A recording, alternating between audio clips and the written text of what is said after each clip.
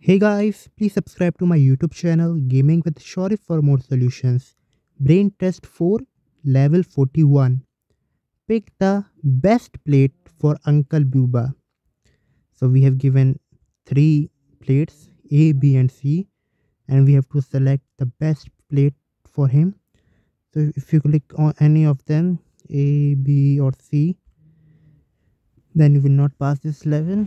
So what to do bring all the foods from the plate into a single plate like this.